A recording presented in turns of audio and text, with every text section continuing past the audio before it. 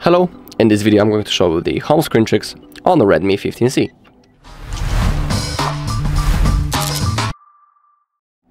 Alright, so let's begin.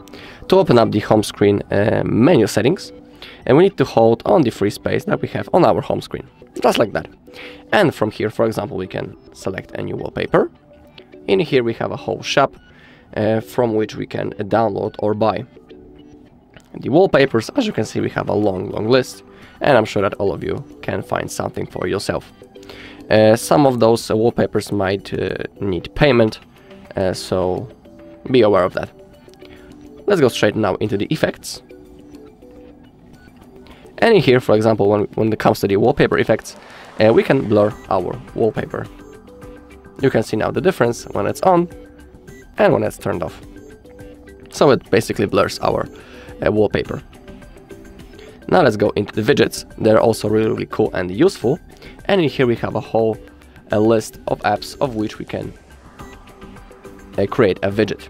Mm, below each each widget uh, we have its size. So for example this one from YouTube Music is 4 on 2. So it requires uh, a lot of uh, free space on your home screen. Uh, so let's create a new widget, for example from the Chrome Let's select that one, Chrome Dino. And as you can see, it says it's not enough space on this page, on this home screen to create it. So we can drag it and place it, for example, in here. Release your finger, and now it has been successfully placed. Of course, we can also change its position a little bit, for example, in here. And if you want to save it, click on Done. And now our widget has been successfully set. When I click on that, the Chrome launches.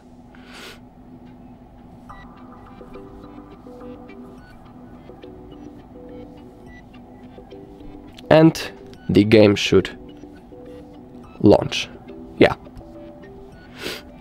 So we have a quick way how we can uh, enable the Dino gameplay. Alright. So that's an example of the widget. Let's go now again into the settings, hold on the screen, and now let's select the settings from here. And for example, we can change the transition effect. Uh, so currently we have the slide, which is the basic one, but we have, for example, crossfade, tumble, page, cascade, rotate, or the cube. Uh, so first, let me show you how the normal uh, option uh, works. So that's the normal transition effect. Now let's change it for something else. For example, maybe the tumble. Click on done. And now, as you can see, the transition has been saved, so we can adjust it into our own preferences and pick between one of those modes. In my opinion, this looks really, really cool. Let's go back into the settings. I'll select the normal one for now. We can also set the default screen which uh, want uh, which we want to be the default one, we can uh, select that one or that one. It's up to you. Okay, we can also enable or disable to fill cells of uninstalled apps. You can enable it or disable it. And for example, we can lock home screen layout. So for example, now when I want to uh, change uh, the position of, uh, of the app, it should go back into its place. As you can see, I cannot even move it. As you can see, on, on the bottom, home screen layout is locked, so I cannot uh, change the position of the apps. It is... Uh, it's impossible when this mode is on. Also, when we click on more, we can change the home screen uh, style. It can be classic with app drawer or in the light mode. You can pick between those modes. We also have minus one screen.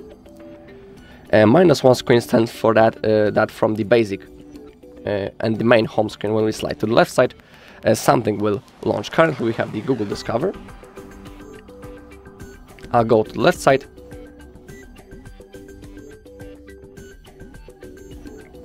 And the Google appears. Now let's change it into something else.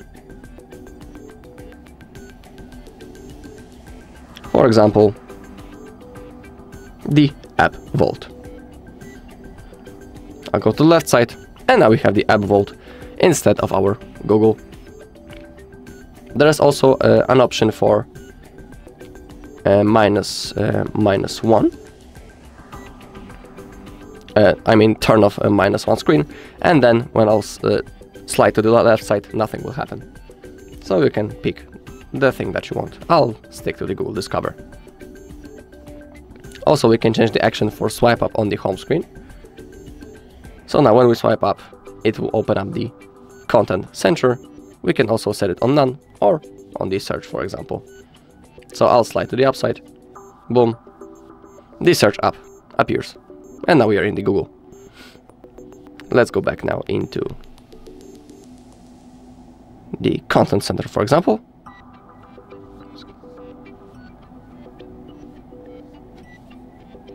And now it launches. Okay. Back into the settings. Home screen. Mm, I have shown you uh, that. We can also select uh, the swipe down on the home screen, for example, to launch the app finder, or for example, we can change it into the notification shade and control center.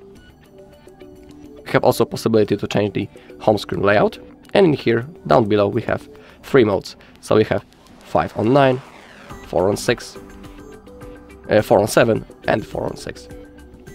Uh, now, for example, when we have 5 on 9, uh, we can uh, place more uh, icons on our home screen because the icons are simply smaller and we have more space. So if you want, you can apply it. I'll stick to the normal one, 4 on 7. In my opinion, it's the best. Alright, and also below, you can change the system navigation method. It can be gestures or the buttons. And you can also enable to show memory status. Alright, that's all in this video. Thank you all for watching.